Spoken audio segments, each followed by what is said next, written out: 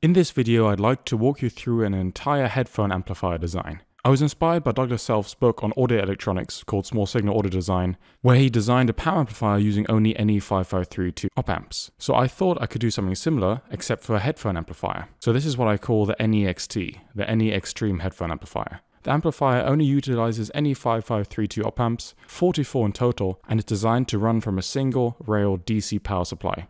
The resulting design is a low noise and low distortion amplifier easily capable of driving anything from 8 ohm earbuds to 600 ohm studio grade headphones with plenty of gain reserves. So let's have a look in further detail. This is a two layer PCB which I had made and partially assembled by JLC PCB. You can see all the nice looking components have been assembled by JLC PCB, for example the capacitors and the op amps and so forth. And I myself actually assembled these resistors and that's why it looks a bit dodgy at times. I chose to assemble the resistors myself because they are extended parts of JLC PCB and I wanted to use thin film resistors instead of thick film resistors to aid with the low noise design. This is a stereo amplifier, so essentially we have a mirrored section here on the left and here on the right for the two channels left and right. So here's an overview of what we're going to be talking about. First of all, the goal, of course, was to design a low noise, low distortion stereo headphone amplifier using only NE5532 op amps. And this, as I said before, was inspired by Douglas Self's power amplifier using only NE5532 op amps, and I'll leave a link to that in the description below. We'll look through the analog design of the power supply, the input buffer, voltage amplification stage, or the gain stage, and the power amplifier, which is the output section. We'll also look in KiCad at the PCB design, both from the schematic, layout, and routing perspective.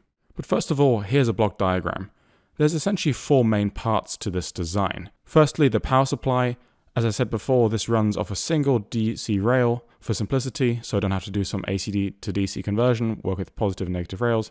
This simply works from a brick DC power supply, which is really convenient. The power supply generates a single 15 volt DC rail and also has some op-amp bias generators to generate a bias voltage for all the op-amps to bias them at half the supply rail voltage. Then in the audio signal chain, starting on the left, we have an input buffer which takes the line in voltage level and presents a fairly high input impedance, which is audio standard of about 10 kiloohms. We feed that signal into the voltage amplification stage, which provides us gain up to about 15 decibels, and that's actually using a Baxandall active volume control, which I'll be explaining further in the video. Once this signal has been amplified, it is fed into a power amplifier, which consists of massively paralleled NE5532 op amps, 12 per channel in fact, and that then connects to an audio jack for the headphone output. When designing this amplifier, I pretty much had two core principles in mind. First of all, we want to decrease our resistance values to reduce the Johnson noise. So for example, instead of using a 10k resistor, I might use a 2.2k resistor, with consideration of course, to reduce the Johnson noise, because the Johnson noise essentially is this formula down here, which scales with the square root of R. Secondly, I would like to parallel op amps to reduce the noise and also enhance the driving capabilities of each section. And you can see that, for example, in this snippet down here. I've done the same op amp circuit twice and joined the outputs via these summing resistors of small value. And this way I can enhance the driving capabilities and also reduce the noise. While designing the circuit, I ran some spice simulations using LT Spice. And these are the values I found. Remember, these are just simulation results. I'm unfortunately don't have quite that expensive test gear to test these myself, but this should be in the approximate ballpark. The input impedance, as said before, is 10 kilo ohms. Output impedance is about a tenth of an ohm, but I included a 10 ohm short circuit current limiting resistor. The bandwidth, which I specified at um, minus 0.1 dB point, is 20 Hz to 20 kHz, so pretty much the audio range. The gain is 15 decibels max, but that is easily changed. The equivalent input noise is specified as at minus 120 dBu. The total harmonic distortion at 1 kHz into a 150 ohm load is about a thousandth of a percent. The power consumption, just running idle, is about 2.5 watts. So now let's look at the schematic and run through everything section by section. JLC PCB is actually also the sponsor of this video, so thank you very much to them. And you can see with the SMT parts library, they have quite a few NE5532 op amps left in stock for a ridiculously low price, and that's why I could get these headphone amplifiers made fairly inexpensively. If you would like to have one of these headphone amplifiers for yourself, please go to my website at philsao.co.uk, click on contact, and leave me a quick message and I'll be in touch. So here we are in KiCad looking at the NEXT headphone amplifier schematic. Let's start off with the power supply. To generate my main 15 volts DC rail, I'm actually using this LM317 linear regulator. Now these aren't terribly efficient, but they're fairly cheap really easy to use, and fairly quiet. As usual, the datasheet gives us a typical application schematic, which is what I pretty much use in the final design. You can vary R1 and R2 to give you your desired output voltage. We have some protection in the form of D1 and D2, as well as some bypass capacitors at the input and output. And this datasheet tells you all you need to know about what values these need to be. The output voltage in my case is 15 volts, and the LM317 typically requires an input-output differential of about 3 volts, meaning that the input voltage has to be at least 3 volts higher than the output voltage. In addition, we also have these bias generators. Since the amplifier is designed to run off a single DC rail, and op amps generally require two rails, positive and negative, to function, the remaining op amp inputs actually need to be biased to half the supply voltage to ensure maximum voltage swing capabilities. So therefore, I'm actually tying all of the op-amp supply pins to VCC, which is 15 volts, and ground. Then the biasing is actually achieved using these two bias generators. These allow filtering of the bias voltages, as I'm doing here, so R69, R70 essentially form a potential divider, splitting this 15 volts in half to 7.5 volts here. But by adding C41, I'm actually filtering my supply voltage quite heavily. And I can do that because I'm using these voltage follower op-amp configurations. Also, this whole configuration, because of these unity gain voltage followers, is really unaffected by loading. Then, of course, remembering our two core principles for this op-amp design, I'm using really low value resistors, so 2.2k here, and I am sharing the outputs of my parallel op-amp sections. So I'm doing the same circuit here as here, but I'm summing the outputs using these really low value resistors. And of course, for all op-amps, I will supply a 100 nanofarad decoupling capacitor. Left and right channels are identical, and you'll see that a lot through the remaining design. And that's pretty much it for the power supply. Now here we have the input buffer section. Again, we have the left channel up here and the right channel down here. So let's look at one of them. Now the input buffer provides a fairly high impedance to the source, for example your MP3 player, which is connected to the input of the headphone amplifier and prevents any loading effects for the following volume control stage. Now R1 and C1 form a low pass filter, preventing any RF from getting into the system and being audibly demodulated at a later stage. The cutoff frequency is set fairly high to about 1.6 MHz. However, the source impedance, so whatever is connected to this, will further reduce this. So if we assume a maximum source impedance of about 1 kiloohm, this will be at about 145 kHz, which is well out of the audio band. So essentially this circuitry down here is simply an RF filter. R2 also performs the function of actually grounding this side of the capacitor without any source attached. Additionally, R2 R3 and C2 actually form a high pass filter. This sets the lower minus 3 dB frequency of the headphone amplifier, as well as the input at AC frequency, so R2 and R3 in parallel, which is roughly 10 kiloohms. R3 also biases the op-amp inputs at half the supply voltage. V bias left was from our bias generators. C2, which is our DC blocking capacitor, prevents any DC bias voltage appearing at the source, as well as preventing any DC offset at the source appearing at the op-amp inputs. Again, the use of paralleled op-amp sections is a reoccurring theme in this design and helps to reduce the noise and increase the load driving capabilities. The outputs of both op-amps are again combined via these 10 ohm resistors.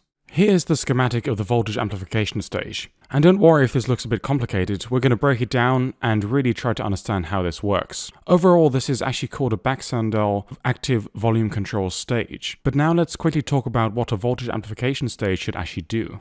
Essentially, this is a volume control and provides all of the voltage gain in the amplifier. The voltage gain available in the in this headphone amplifier can be varied anywhere from effectively completely muted to approximately 15 dB, which is about 5.6 times linear. And that's plenty for almost any application. Ideally, this control law of the volume stage should follow a logarithmic curve, as this best matches the way we hear. A simple volume control could simply be a log potentiometer where the first terminal is connected to the input and the wiper to the output. However, these apparently logarithmic potentiometers are not truly logarithmic at all, but instead approximate a logarithmic function by using two linearly changing track resistances of differing slope. Additionally, using a passive potentiometer as the sole volume control would mean all the 15 decibels of gain would have to be applied at all times before reaching this potentiometer, as the potentiometer would act to decrease the signal level. Clearly, we require a better solution, and this is where the active Baxandall volume stage comes in, which was actually named after the late Pete Baxandall, who invented this. A simplified block diagram form of the volume control is shown here. It consists of a linear taper potentiometer of total resistance R, a unity gain and high impedance buffer over here, and an inverting amplifier of gain K. In this form, it is a bit hard to see how the volume control functions, so let me redraw it in a more convenient form, which is that of a potential divider. I have omitted the unity gain buffer and assumed it is part of the inverting amplifier, as its only function is to provide a high input impedance. The far left diagram shows the potentiometer split into two. It is simply a potential divider with two varying resistors, with the potentiometer setting indicated as alpha, which can vary from 0 to 1. The inverting amplifier is now in parallel with the lower resistor, and now there are two possible extreme cases to consider, over here and over here. So let's look at the middle diagram. If the potentiometer is turned completely to one side, alpha is 0, and thus the top resistor is R, and the bottom resistor is effectively a short. Since the short is in parallel with the high input impedance amplifier, the short dominates, and remembering basic potential divider theory, there is no voltage drop across the amplifier, as all of the input voltage is effectively dropped across R. No voltage at the input terminal of the amplifier means the signal won't be amplified, and V out will be zero. This is the case of infinite attenuation. Now let's look at the other case, the far right diagram. Now, if the potentiometer is turned completely to the other side, alpha is 1, and the top resistor is now a short, with the bottom resistor being R. Now all of the input signal voltage is apparent at the input terminal of the amplifier, and the voltage output will simply be minus K times V in i.e. the maximum possible amplification. By going through the math, it turns out that the relationship between voltage gain and potentiometer setting, which is alpha, is this one over here, where alpha, again, goes between 0 and 1. Now importantly, the gain is not a function of the total potentiometer resistance, but rather of alpha only. Here, I've graphed this function, so alpha on the x-axis and the gain on a linear scale on the y-axis. Now if we plot that in decibels, we get a straight line, which means we have a logarithmic response. And you can, as you can see, we have when alpha is zero, effectively infinite attenuation, and when alpha is one, we have about 15 decibels up here. And this is for an amplification of 5.6. Now returning back to our actual schematic, let's see if we can identify the path of the Baxandall volume control here.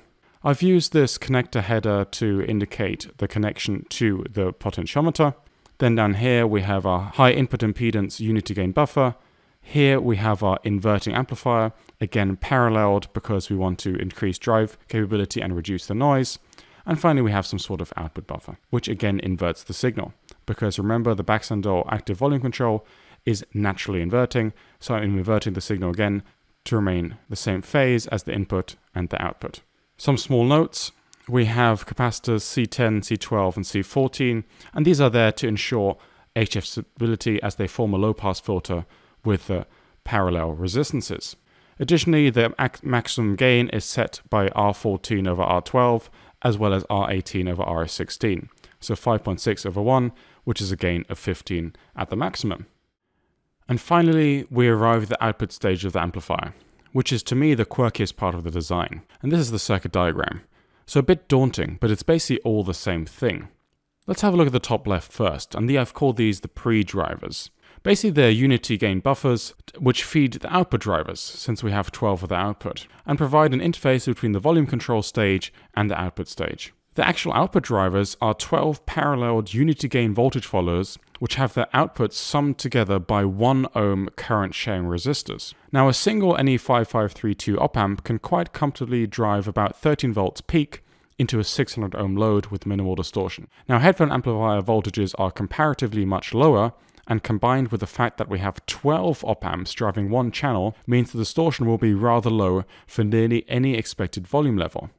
Then finally, after all the summing of the op-amp stages, the output is fed through a current limiting resistor, which is this one here, the 10 ohm resistor, and then a very large electrolytic coupling capacitor to block any DC voltage from reaching the headphones. And the capacitor is this large as it also acts as a high pass filter in combination with the headphone impedance. For example, for 250 ohm headphones, uh, which is quite typical for studio headphones, the minus 3 dB cutoff is at 0.3 Hz using this size capacitor, which is well below the audio band and thus will not cause significant distortion. Uh, the final bleed resistor over here to ground ensures a discharge path for this large capacitor, should there be no headphones attached. And that pretty much sums up the schematic. So let's move over to the PCB layout and routing. Here we are in the KiCad 3D PCB viewer. And as I said before, this is a simple two-layer board with the top and bottom looking like this. What I needed to do with this design is, is essentially split it in the middle, have one channel on the left and the other channel identical on the right. So essentially I've mirrored the layout and routing for each of these sides. I've used these screw terminal connectors to connect, for example, the DC power supply, as well as the line in and headphone out connections, as well as the stereo connections to the volume potentiometer. Of course, I could have incorporated this on the PCB, but I wasn't quite sure yet which enclosure I would use. Overall, the dimensions are about 60 by 80 millimeters. The PCB is roughly divided into power supply over here, then we have the input section and bias generators over here and here, and the final output sections left and right over here. Last but not least, I found a little very cheap enclosure for my headphone amplifier. I believe this is from Teko. It costs about 4 euros, so incredibly cheap. And in hindsight, I probably should have spent a tiny bit more money on it, as it had several gaps around the sides here and here. However, I just went along with it, drilled some holes and mounted the board as well as connectors, switches and an LED. So this is the raw enclosure. Then I printed out this little drill template which I made using draw.io so once drilled, I mounted the PCB using PCB standoffs uh, to avoid contact between PCB pads and the case. I attached the various connectors and wired everything together. Uh, definitely not the neatest job by looking at this, but um, yeah, thankfully the case has a lid, so you can't see it. And then finally, the final product sitting on my desk, which works surprisingly well and actually drives my beyerdynamic uh, DT880 Pros really well. Here's the NE5532 power amplifier I mentioned by Douglas Self. Uh, you can find it at Elektor magazine, and I believe you can also look at the Gerber files and some of the specifications of this amplifier.